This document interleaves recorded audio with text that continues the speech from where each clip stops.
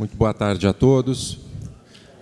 Antes de mais nada, quero agradecer a oportunidade de estar aqui. É, falar sobre uma coisa que não irá acontecer comigo, né? Já está acontecendo com todos nós, desde que nós nascemos, um processo natural de crescimento e envelhecimento. Né?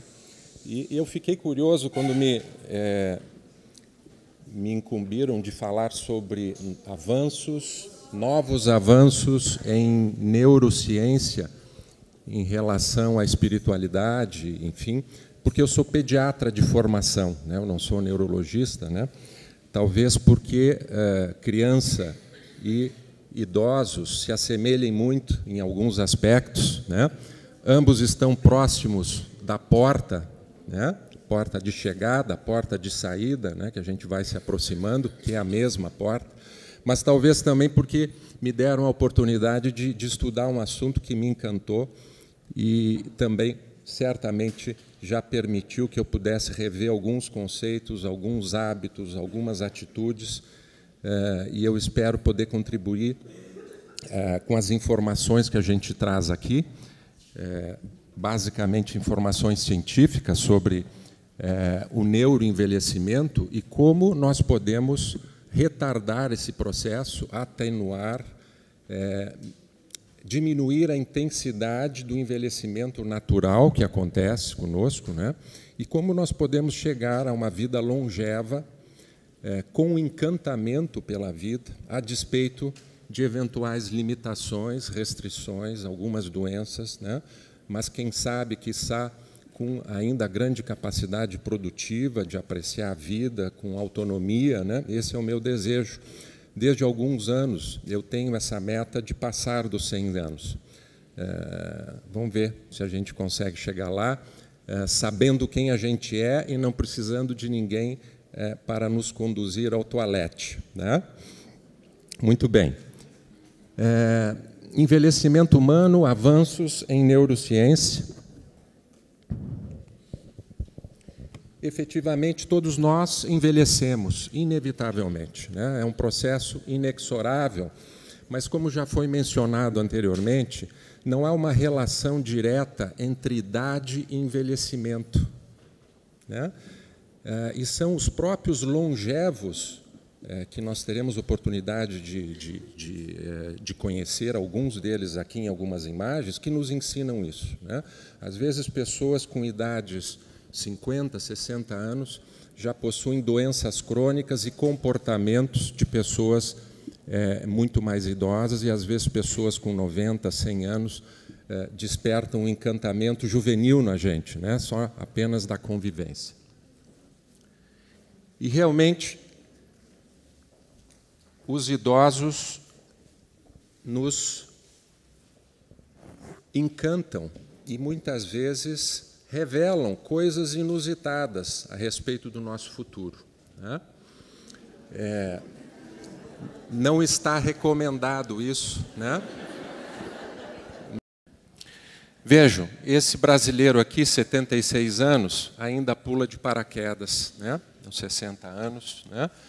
É, um estudante de medicina que se graduou aos 80 e 82 anos em São Paulo, não faz muitos anos, né?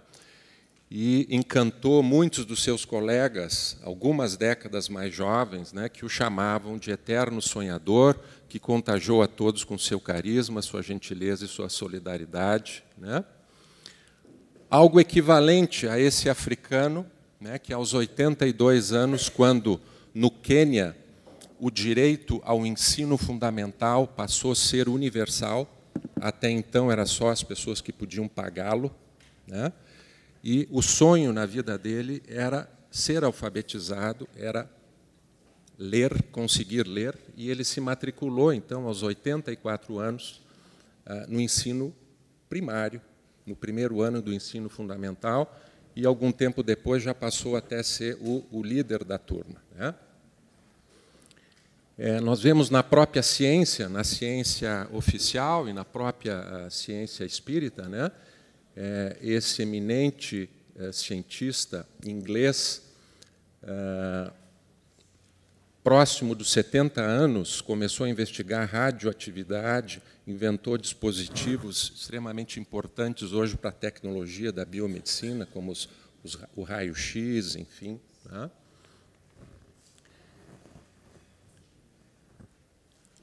Quase 80 anos e viajando para o espaço. Foi próximo dos 80 anos que Lamarck concebeu, concebeu a sua teoria evolutiva, né, da permanência dos caracteres adquiridos, que caiu em desuso e agora está retomando, retomando é, um certo prestígio através da epigenética. Nós vemos aqui, aos 82 anos, esse cidadão é, com mãos livres, sem estar, enfim, só com o bastão, atravessando uma ravina com um vão de 30 de 30 metros, né, em perfeito equilíbrio. Nós vemos aqui o Paulo, o Paul, aos 92 anos, completando a sua 14ª maratona. Cada maratona são 42 quilômetros. Né? Aos 99 anos, um japonês consegue escalar o Monte Fuji, que tem 3.370 metros. Né? Suspeito que ele possa não ter conseguido descer, porque não, eu não encontrei a foto da chegada, né? Mas ele chegou lá, ele chegou lá. Isso é que importa. Tá? Vejam, essa atleta comemorou 61 anos de vida fazendo um triatlo, né? 180 quilômetros de bicicleta, 42 quilômetros correndo e quatro quilômetros nadando em sequência, no mesmo dia. E essa dona de casa, já aposentada, encontrou na corrida um sentido para a sua vida. Né? um motivo de crescimento, de aprimoramento é, Alguns anos depois, oito anos depois que ela começou a correr, ela passou, ela foi considerada a mulher mais rápida do mundo para a sua idade. Enfim, numa maratona. Para essa idade, as maratonas são mais é, curtas. Né? E eu me surpreendi muito vendo essa imagem, né, de uma pediatra norte-americana é, no estado da Geórgia, em Atlanta, né, que clinicou até os 103 anos de idade e ainda viveu até os 114 anos de idade. Esse japonês foi o primeiro homem a escalar o Everest aos 70, aos 75 e aos 80. Quando ele terminou a terceira escalada aos 80, ele para, enfim, os repórteres, ele disse: "Acho que três vezes já é suficiente. Acho que não terá a quarta vez." Né? Talvez esse seja o esquiador aquático ativo no mundo mais longevo 100 anos. Quem não acompanhou, de alguma forma, a trajetória extraordinária desse cientista? Né? Isso é uma coisa que me, me proporcionou algumas reflexões ao longo de muitos anos, né? como o que move uma pessoa a querer continuar viver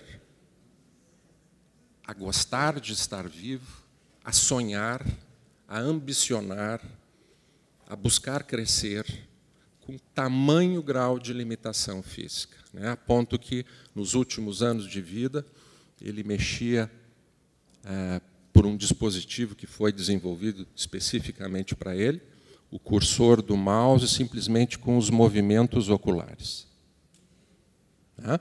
E conseguiu chegar aos 76 anos de idade, é, com a mais absoluta restrição física, talvez, que alguém possa ter.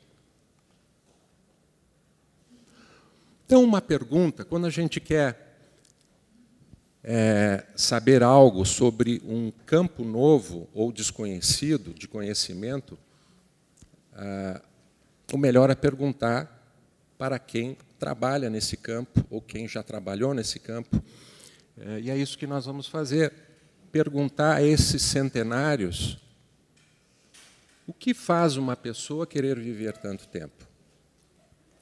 O que motiva, alimenta as células a se perpetuarem, a manterem a sua vitalidade por tanto tempo assim?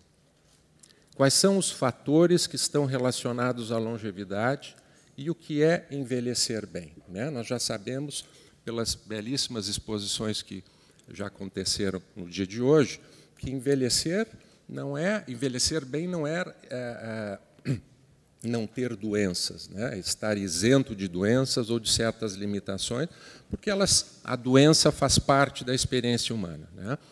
Envelhecer bem é envelhecer com ânimo, com disposição, com encantamento pela vida, é, com funcionalidade, né? com autonomia relativa, permitindo aquela pessoa continuar sendo produtiva em algum grau. E nesse ato de produzir, de criar, valorizar e dignificar a sua vida. Talvez essa, esse seja um bom conceito para envelhecer bem. Vale a pena viver tanto tempo? Mesmo com limitações? E mesmo com 100 anos, a gente adquire alguma coisa, a gente pode ainda conquistar alguma coisa, a gente pode aprender alguma coisa, a gente pode evoluir em algum aspecto da nossa vida, da nossa existência, do nosso existir, do nosso pensar, do nosso conhecer, do nosso amar? Há sentido em viver tanto tempo? Nós vamos tentar responder algumas dessas perguntas é, na exposição que segue. Né? E aqui um alerta para é, os amigos do meu gênero. Eu fiquei surpreso com essa estatística que os homens têm duas vezes mais risco de morrer em todas as idades. Né? É, eu sabia isso em recém-nascidos, morrem mais recém-nascidos do sexo masculino, né? morrem mais homens jovens por acidentes e por é, causas violentas e acidentes, enfim, mas que essa estatística fosse tão homogênea e constante ao longo de toda de toda uh, o ciclo vital. Né?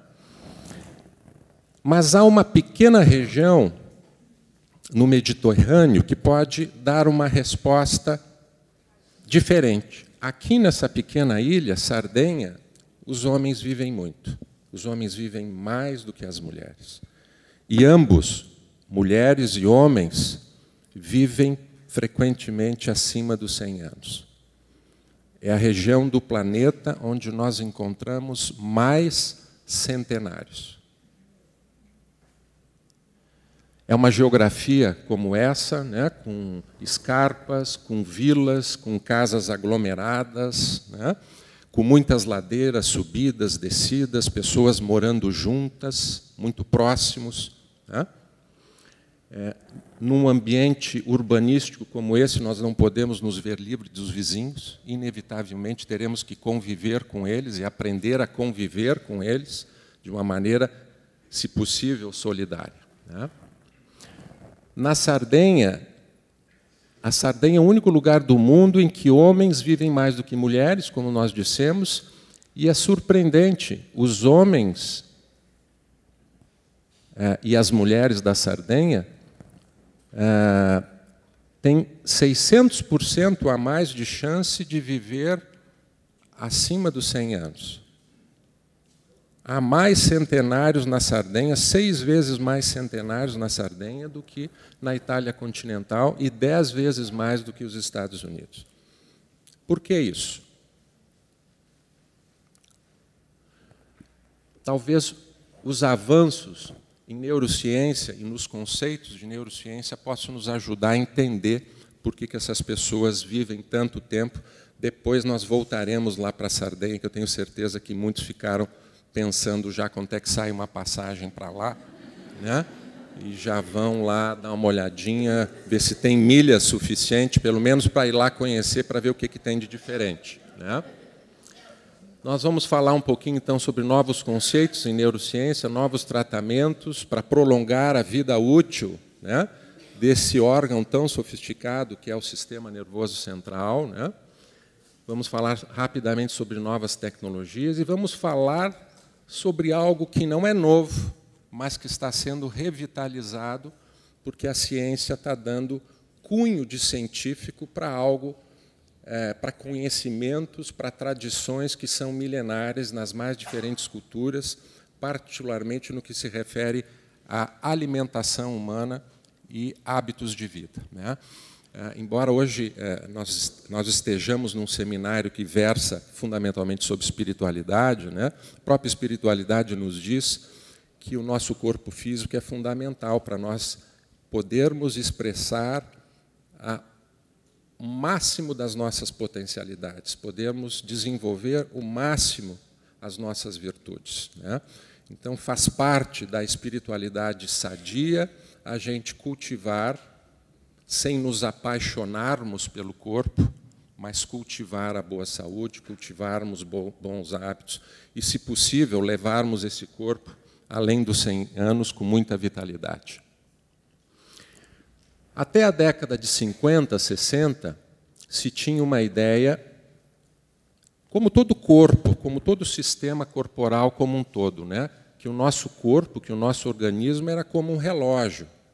Era um, era um mecanismo é, constituído por determinadas peças, e, esse, essa mesma visão era tida em relação ao sistema nervoso, ao cérebro, ao encéfalo.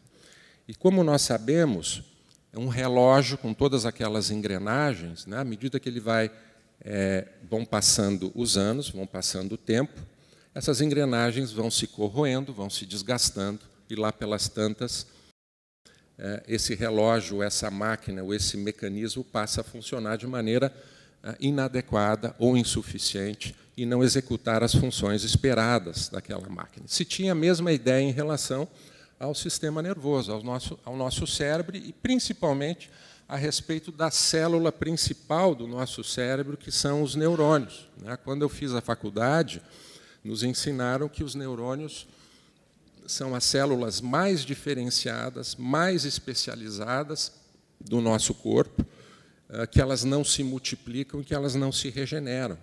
Né? E a ideia que se tinha que depois da infância, a partir de determinado eh, período da idade adulta, a gente passaria apenas a perder neurônios e que nós não teríamos mais a capacidade de produzir novos neurônios, e, e, com isso, repovoar ou reconstituir áreas danificadas do nosso cérebro, fruto de acidentes ou de doenças degenerativas. Né? Ah, na década de 70 para cá, e principalmente com o advento ah, da medicina, ah, da radiologia de imageamento funcional, que permite a gente ver como o cérebro funciona, desempenhando tarefas diferentes, né? ou seja, em tempo real. Hoje a tecnologia em neurociência permite a gente ver quando o indivíduo canta quais são as áreas cerebrais que estão ativadas, quando ele medita, quais são as áreas cerebrais que são ativadas, quando ele mente, quando ele é, sonha, quando ele sente raiva.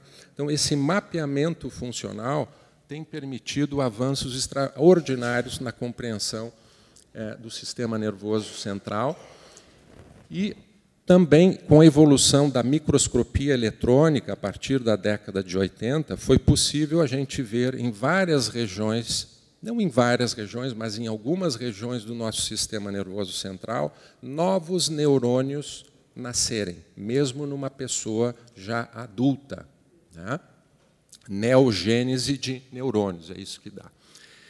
Então, nessas últimas décadas, se viu que Diferentemente do que se pensava, que o tecido cerebral fosse algo estático, né, que fosse simplesmente se desgastando, ele se comporta de forma muito semelhante ao músculo esquelético. Se a gente estimula o cérebro, ele se desenvolve. Se a gente não utiliza determinadas áreas cerebrais, elas, de certa forma, involuem. A arquitetura neuronal do tecido cerebral numa área que está sendo pouco utilizada, sofre um processo de involução. Ao passo que, em áreas que estão sendo solicitadas e estimuladas, ocorre um processo contrário. Né?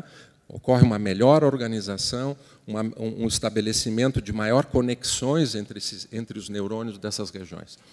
Então, esse processo contínuo de mudança na estrutura e na função do tecido cerebral, nós chamamos de neuroplasticidade.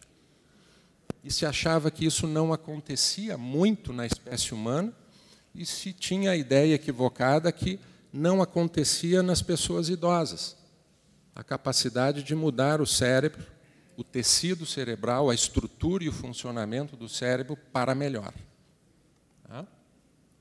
Então, esse conceito do cérebro mecânico, ele está essencialmente superado, e a ideia que nós temos hoje é que o cérebro funciona mais como um bonsai. Eu posso podar determinadas uh, galhos, eu posso dar formas diferentes, eu posso deixá-lo maior, menor, né? eu posso moldar a estrutura do meu cérebro até certo ponto. Era uma ideia que a gente não tinha. A gente tinha o conceito de que nós éramos vítimas inexoráveis do acaso. Eu nasci com o cérebro assim, com determinadas características, que eu não poderia mudá-las para melhor. Essa neuroplasticidade, ou seja, essa capacidade de reorganização do tecido cerebral, ela ocorre em vários níveis. Né? O nível mais fundamental são nas sinapses, que é o ponto de encontro entre dois neurônios. Os neurônios não se tocam. Há uma fenda entre um neurônio e outro, se chama essa fenda microscópica de sinapse. Né?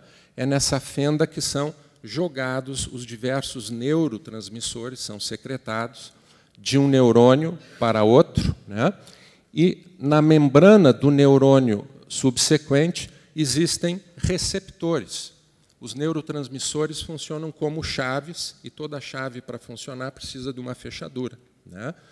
Eh, em neurociência, as chaves nós chamamos de neurohormônios ou neurotransmissores, e as fechaduras nós chamamos de receptores. Toda célula, para responder a um estímulo químico, nervoso ou neurohormonal, precisa de fechaduras apropriadas, precisa de receptores, e, em geral são pequenas proteínas na superfície ah, da membrana desses neurônios. Um outro nível de rearranjo neuronal, que não é propriamente a sinapse, são as conexões entre os neurônios. Elas surgem e desaparecem em minutos, fruto da estimulação. Uma prática de atividade física de 40 minutos provoca, nos minutos subsequentes, um aumento significativo em conexões neuronais nas áreas, nas mais diversas áreas do sistema nervoso central.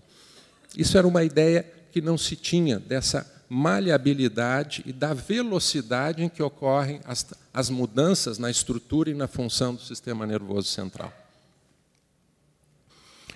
E a neuroplasticidade também pode acontecer ao nível molecular, da expressão de genes, ah, da síntese de moléculas que acabam, em última análise, sendo os controladores químicos da atividade do sistema nervoso, do processo de saúde do sistema nervoso e do processo de adoecimento do sistema nervoso. Tá? Isso é uma revisão que já tem algum tempo, né? mostrando que é, diversos fatores podem atuar no cérebro, intraútero, pós-natal, na infância, na idade adulta, na terceira idade, em qualquer momento do nosso ciclo vital, todos esses fatores aqui citados, experiências sensoriais e motoras, mudam o nosso cérebro. Eu nunca, vamos supor, uma pessoa nunca teve tempo, oportunidade de é, apreciar boa música. E surgiu a oportunidade, com 70 anos, de ela começar a aprender um violão. Com 70 anos. Talvez com, com muita possibilidade, essa pessoa não se tornará um virtuoso no violão, né? não dará concertos, né? mas se sabe que essa atividade motora muda regiões da motricidade, muda regiões da memória, muda as relações entre as diversas áreas do sistema nervoso, faz o sistema nervoso funcionar melhor. Né? Então, toda e qualquer experiência sensorial e motora repetitiva muda o nosso cérebro. Todas as drogas psicoativas, particularmente as drogas de abuso, né, modificam a estrutura e funcionamento cerebral, os hormônios sexuais, as relações parentais. Isso era, uma, era um conceito que a gente não, não tinha. Né? É, o tipo de relacionamento que eu tenho com meu pai, com a minha mãe, se ele é conflituado, se ele não é conflituado, se tem violência, se não tem violência, né? se há diálogo, se não há diálogo, se há repressão de emoções, se há um espaço saudável de convivência e de expressarmos as nossas emoções, isso modifica o nosso, o nosso sistema nervoso. Né?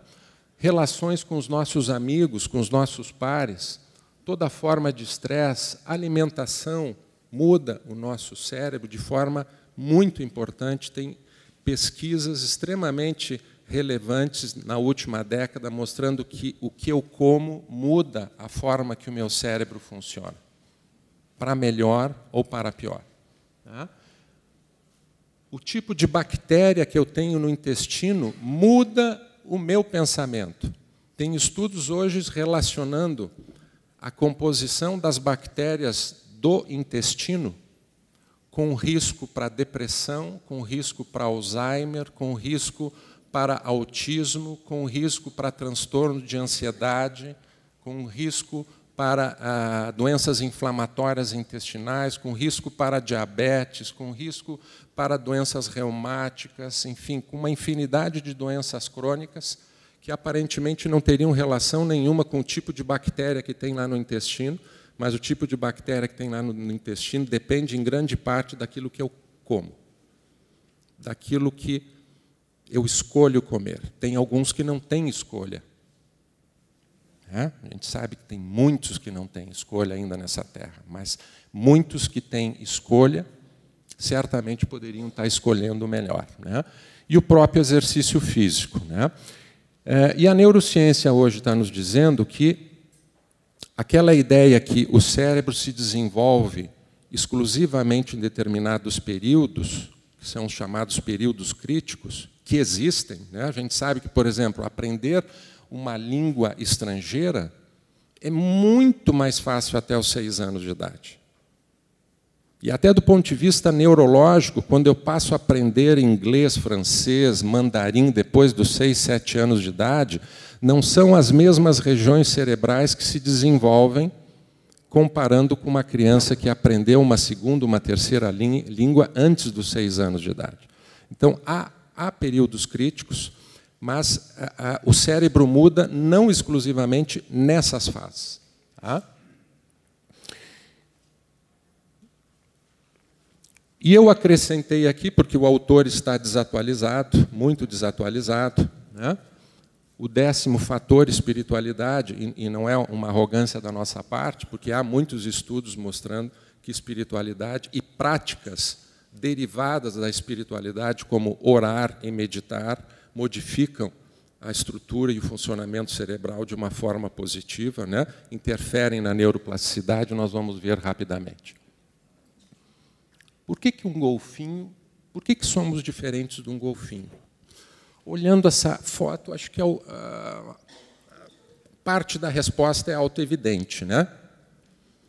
Ah, golfinho é um animal aquático, nós somos terrestres, embora a gente goste de ir para o litoral de vez em quando nos banharmos. Né?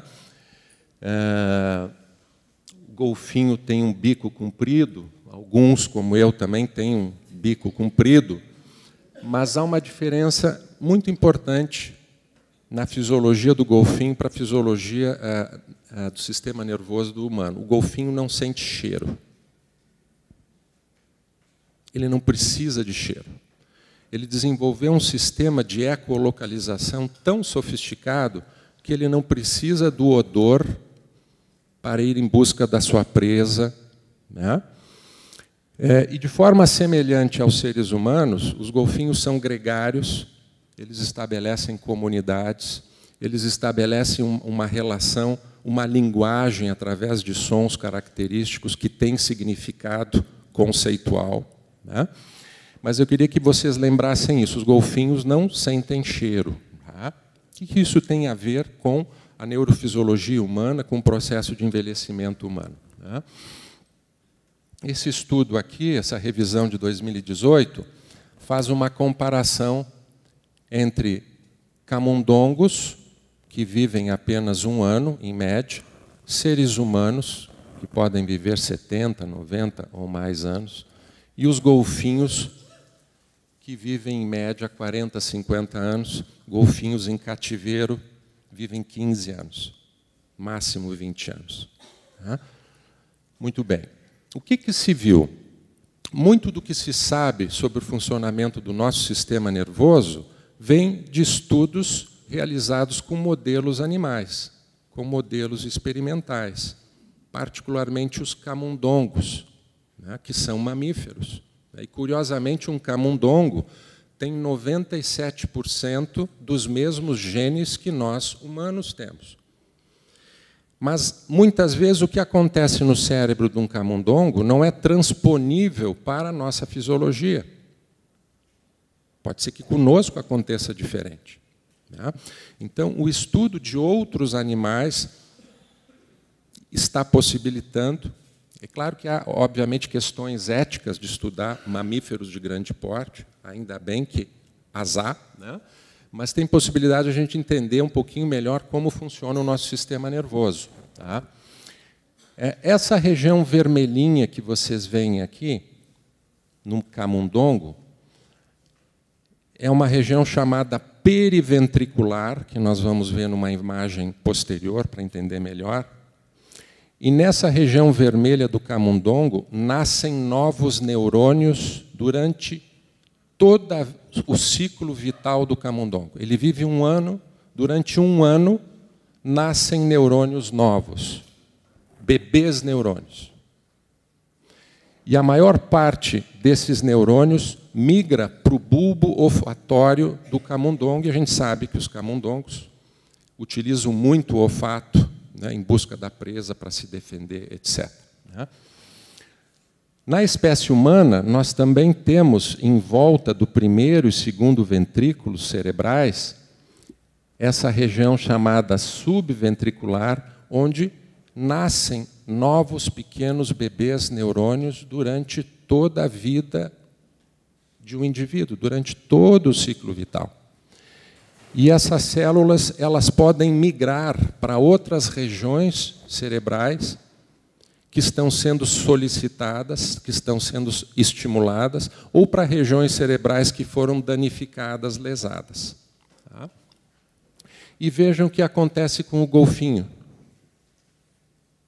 Ele não tem essa região que produz novos neurônios. Eu trouxe essa imagem só para a gente trabalhar esse conceito. Né? que mesmo em mamíferos a capacidade de regeneração, de produzir novos, novas células nervosas é distinta, né? E nós estamos numa posição até privilegiada, intermediária, porque nós temos aí na região em volta, então dos ventrículos cerebrais, a possibilidade de criar novos neurônios, e o que faz esses neurônios eh, se desenvolverem, se multiplicarem, é, em grande parte, o estímulo, o estímulo que eu ofereço para o meu sistema nervoso. O estímulo motor, o estímulo sensorial, o estímulo afetivo, o estímulo de aprendizado, o desafio do aprendizado, seja ele qual for, é o maior estímulo para promover o desenvolvimento, o crescimento e a multiplicação dessas células. Né? É, aqui em transparência, a gente pode ver, em azul, Aqui estão os ventrículos cerebrais. O nosso cérebro tem o hemisfério esquerdo e direito. Bem no centro do nosso hemisfério esquerdo e direito existe um buraco, existe um espaço preenchido de líquor, de líquido, de um líquido clarinho.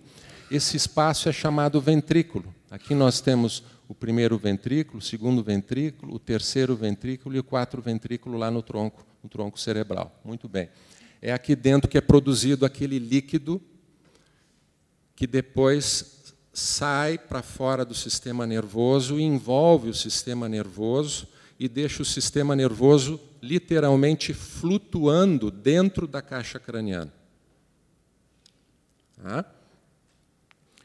Promovendo uma espécie de amortecimento hidráulico para o nosso sistema nervoso. É aqui dentro que é produzido esse líquido. Muito bem.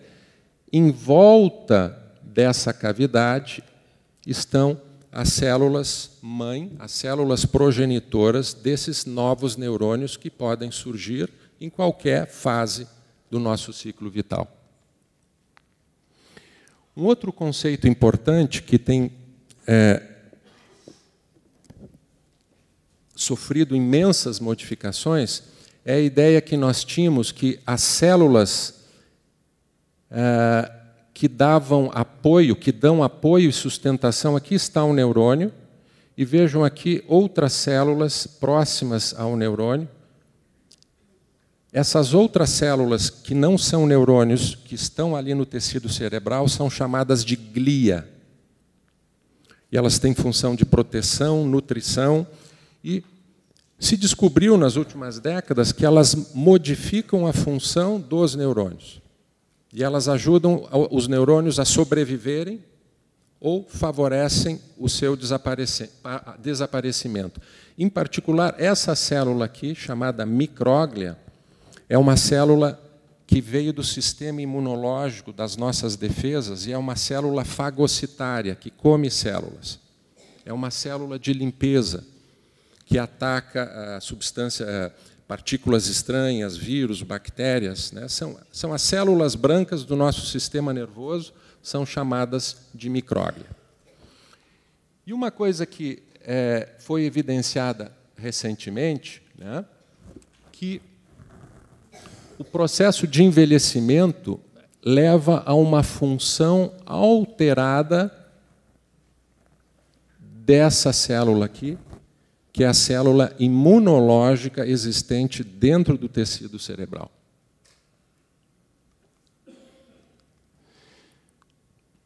Além disso, a pesquisa tem mostrado que fatores ambientais podem modificar a função dessa célula chamada micróglia.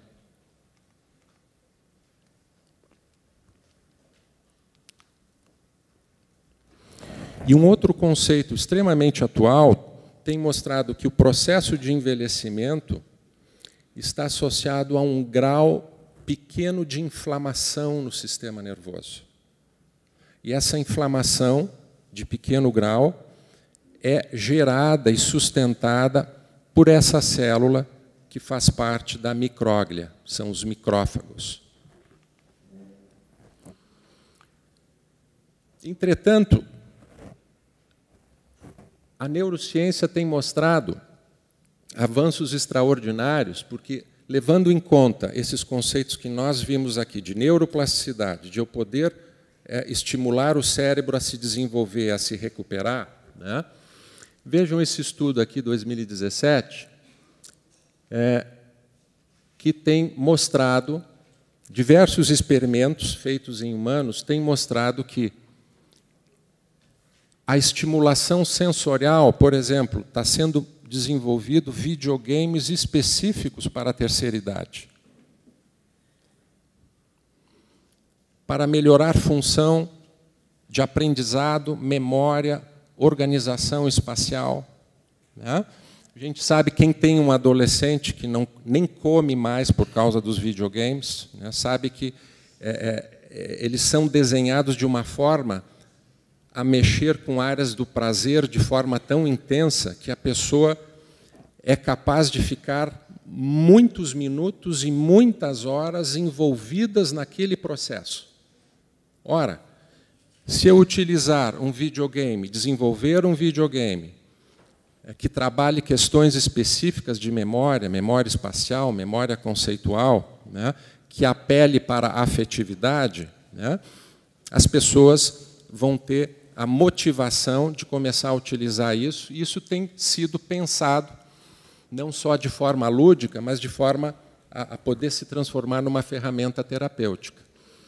Ah, há experimentos também utilizando dispositivos extracerebrais, campos magnéticos, agindo especificamente em determinadas regiões cerebrais, promovendo a neuroplasticidade, promovendo a modificação da estrutura e funcionamento do cérebro. Né? Um outro campo de extremo avanço em neurociência são as células-tronco, que, a semelhança do que está sendo pesquisado na cardiologia, né? uh, hoje um, um, uma das grandes complicações do paciente idoso são os acidentes vasculares cerebrais, né? as isquemias, as hemorragias no sistema nervoso, e o indivíduo perde aquela região.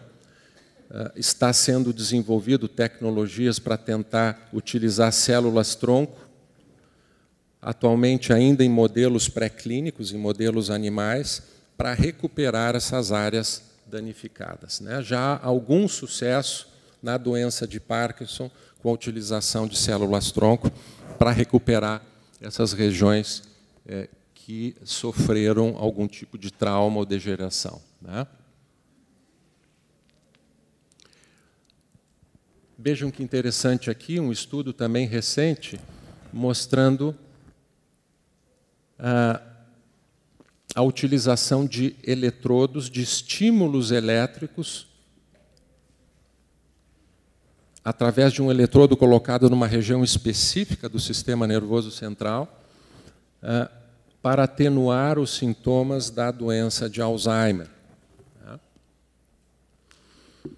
Agora eu quero falar um pouquinho sobre algo que tem muito a ver com a gente, né? que é neuroenvelhecimento e dieta. Né? Esse é um estudo de 2016 mostrando que fitoquímicos, diversos, diversos componentes químicos dos nutrientes, podem funcionar de forma preventiva para a degeneração do sistema nervoso central e, quem sabe, poder recuperá-los. Né? E muitos desses componentes da nutrição têm efeito anti-inflamatório, daí a sua importância eh, em todos os processos degenerativos eh, relacionados ao sistema nervoso. Aqui está uma lista enorme desses produtos. Né? Eu botei pequenininho aqui para ficar em segredo de Estado, né, para nenhum de vocês saber, mas eu selecionei alguns super importantes para a gente comentar. Né? Então, essas substâncias aqui já há uma grande evidência de que são benéficas para o sistema nervoso. Tá? Ácido ferúlico, comumente encontrado em frutas, vegetais, como tomate, milho, arroz, farelo de arroz, chá verde, blueberry, que é um mirtilo, morango, cúrcuma, o sulforafano, que é encontrado no brócolis, couve, couve roxa, couve-flor, resveratrol, né, nas uvas vermelhas, enfim, né, ah, ah, no mirtilo também, né, no vinho, pena que tem o álcool, vinho, enfim. Há alguma novidade nisso, gente? que isso faz bem para a saúde? Bom, muito bem. A ciência está mostrando que esse tipo de alimento faz bem para o cérebro. Está mostrando isso do ponto de vista estrutural, do ponto de vista de mecanismo. Né? Está sendo evidenciado de que forma esses alimentos atuam favoravelmente, favorecendo a longevidade cerebral. Esta aqui é uma revisão também recente, 2018, mostrando como os alimentos que contêm flavonoides são úteis na prevenção do declínio cognitivo relacionado à idade. O que, são flavonoides? São todas as substâncias que dão cores vivas aos nutrientes. Todos esses nutrientes têm flavonoides, cores vivas que, que os flavonoides provocam? Diminuição da neuroinflamação, diminuição do estresse oxidativo, aumento da neuroplasticidade. Uma outra questão que foi passada, foi comentada né, pela nossa colega, a questão da obesidade. Né? É, hoje no mundo são 1, milhão e 500, 1 bilhão e 500 pessoas com sobrepeso no mundo. Né? 800 milhões de pessoas com obesidade. Ah, há estudos muito consistentes mostrando que o sobrepeso afeta o aprendizado, modifica a estrutura cerebral e as funções cerebrais. Né? Rio Grande do Sul é o campeão brasileiro de sobrepeso, em todas as faixas etárias. 24% das nossas crianças estão com sobrepeso. Segunda-feira, última agora, eu atendi uma menina no consultório de 10 anos com 91 quilos. A mãe chorando, dizendo que já tinha sido expulsa de vários consultórios onde ela foi ameaçada de ser acionado o conselho tutelar. 10 anos, 91 quilos, sem nenhuma doença endocrinológica. Não tem doença endocrinológica. É obesidade exógena. Né? Hábitos de vida. Tá? É tão curioso que o Alzheimer também é, é de forma caracterizada é chamado de diabetes cerebral, porque o, o diabetes tipo 2 provoca alterações na cognição e favorece o processo de demência por um mecanismo paralelo e semelhante à doença de Alzheimer e aumenta o risco de aparecimento da doença de Alzheimer. Hoje no mundo são 422 milhões de pessoas com diabetes. No Brasil, são 14 milhões de pessoas com diabetes. E essa forma de diabetes, que é a mais comum, que é o diabetes tipo 2, ela é absolutamente prevenível na sua imensa maioria de casos. Prevenível mantendo-se uma vida ativa, mantendo-se é, o peso dentro daquilo que é recomendado para a faixa etária. Né?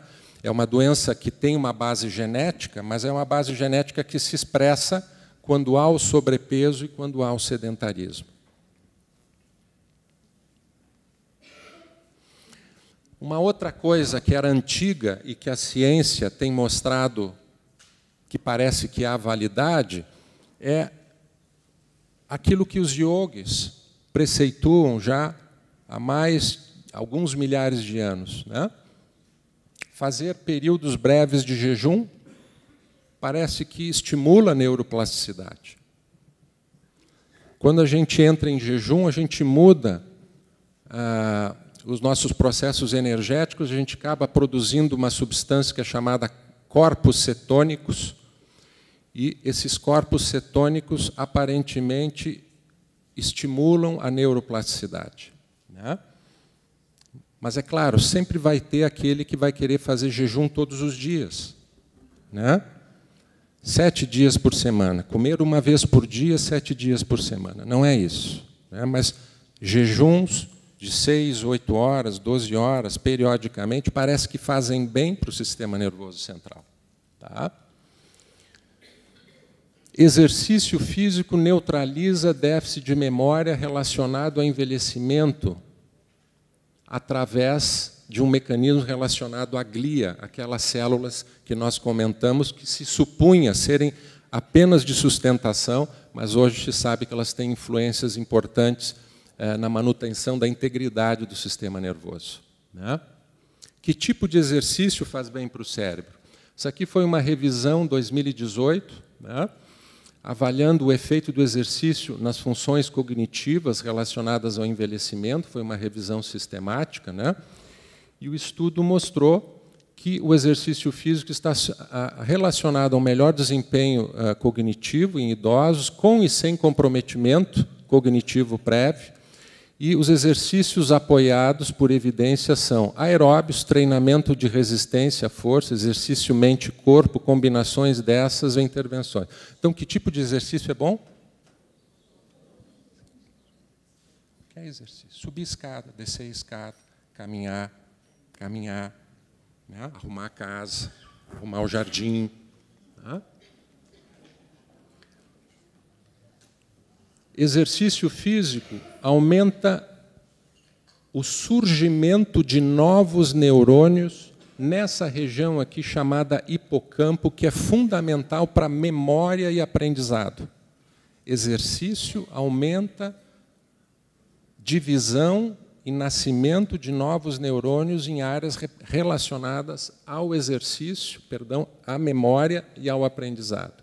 Melhora a plasticidade sináptica, sináptica, rearranjo de circuitos neuronais são melhorados, eh, modifica a resposta de neurotransmissores, fora a ação vascular no território vascular cerebral.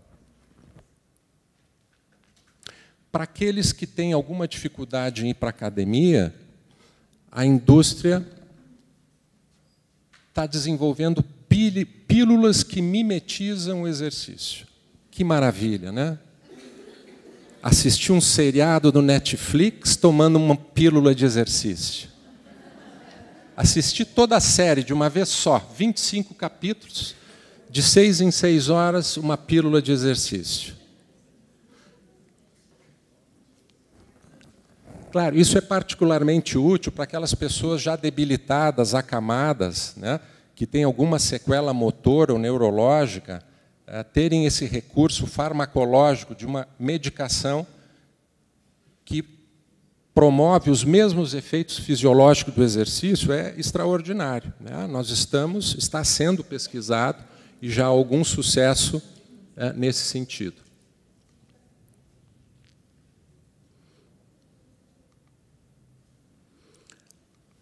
O meu tempo está se esgotando.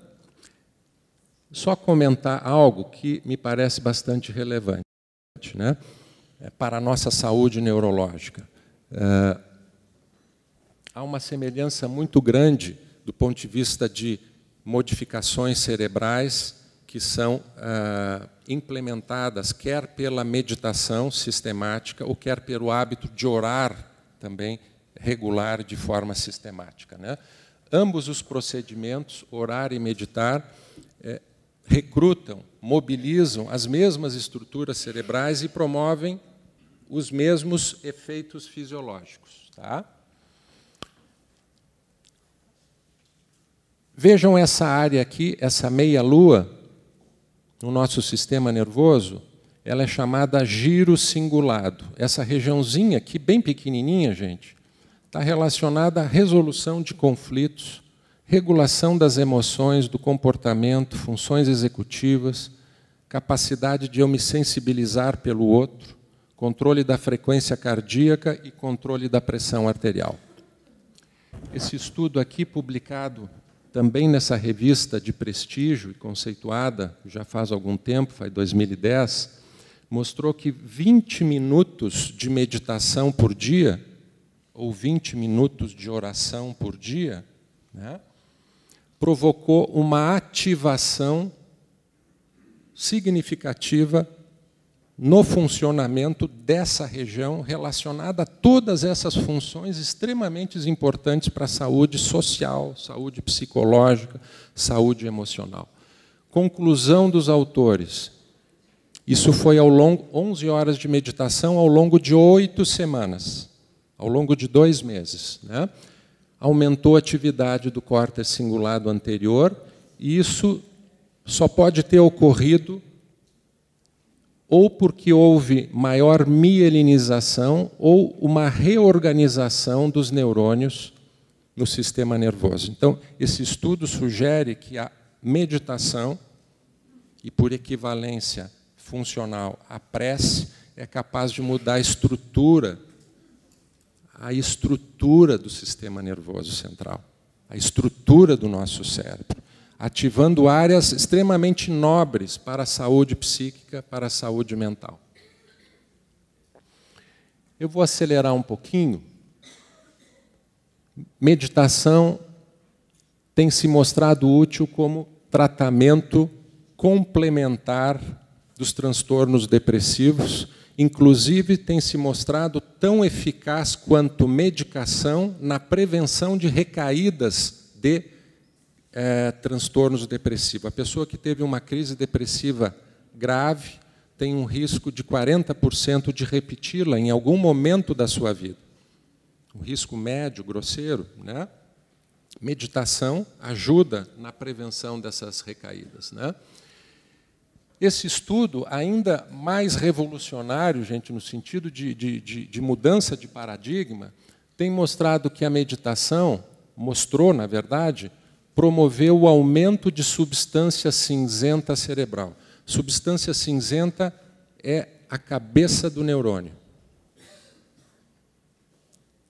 meditação aumentou a densidade, a quantidade, a concentração de neurônios em áreas relacionadas com memória, regulação das emoções e tomada de perspectiva. Tá? É, meditação aumentando a resposta imune e funções cognitivas do indivíduo que medita 15, 20 minutos todos os dias, ou hora, 15, 20 minutos todos os dias. Né?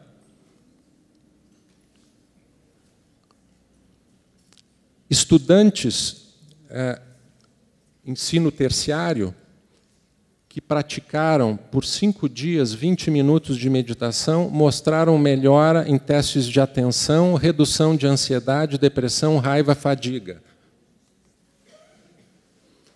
Meditação sendo efetiva na redução da pressão arterial elevada de quem tem hipertensão arterial. Não quer dizer que a gente tem que parar a medicação, mas a gente pode usar como uma ferramenta associada. Né?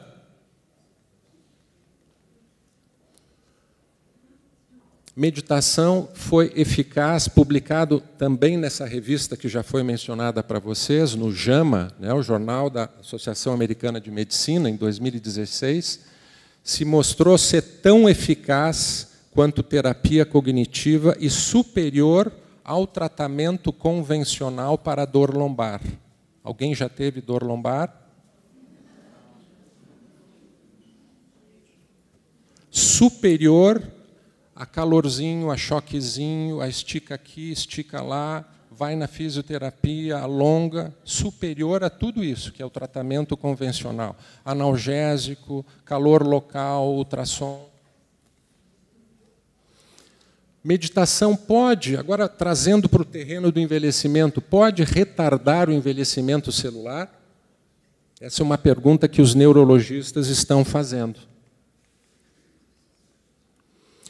Esse estudo aqui, acho que faltou.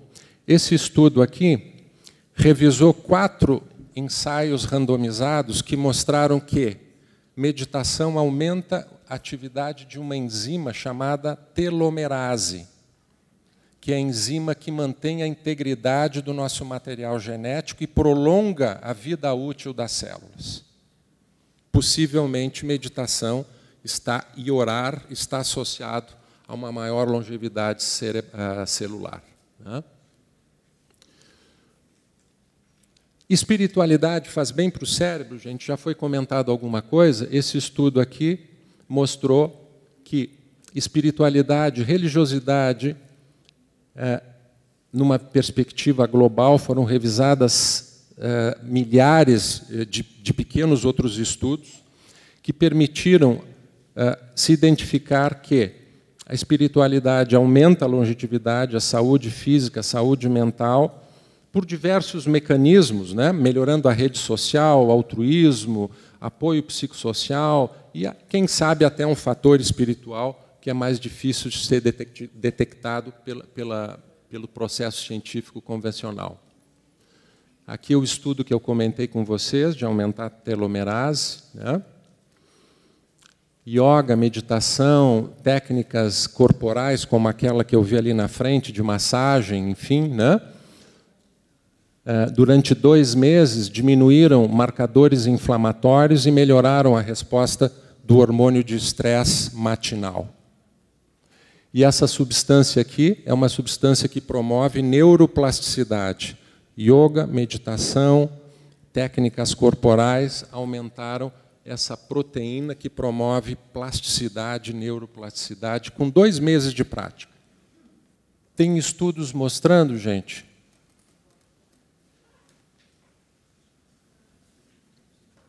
que o egoísmo envelhece o cérebro e o altruísmo o vitaliza.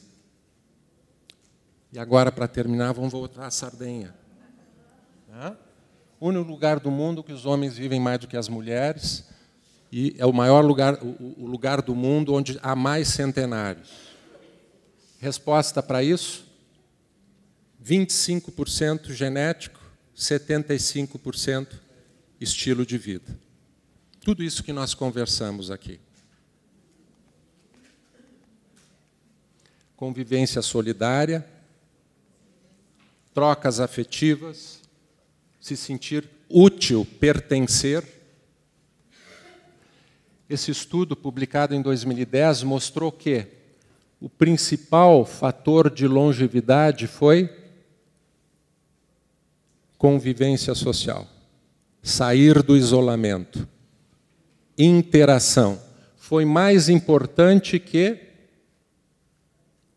poluição do ar. Foi mais importante nesse estudo do que tratamento para hipertensão. Foi mais importante do que ser magrinho. Convivência social. Foi mais importante que parar de fugar ou fumar pouco. À medida que você envelhece, você descobrirá que tem duas mãos, uma para ajudar a si e outra para ajudar as outros. Velhice, portanto, é apenas um estado provisório da mente que desistiu de aprender e de progredir nos quadros de luta redentor e santificante que o mundo nos oferece. Isso foram as coisas que nós vimos e quero dedicar essa apresentação de agora, que se alongou um pouco, peço desculpa aos ouvintes, enfim, à organização, a esse amigo nosso que é conhecido de muitos e talvez amigos, amigo de muitos que aqui estão presentes, né? O professor Cícero é um biólogo da URGS que defendeu o doutorado aos 84 anos e desde há 15 dias, com 93 anos, está ah, cursando seu pós-doutorado de forma oficial na Universidade Federal do Rio Grande do Sul. Obrigado pela atenção de vocês.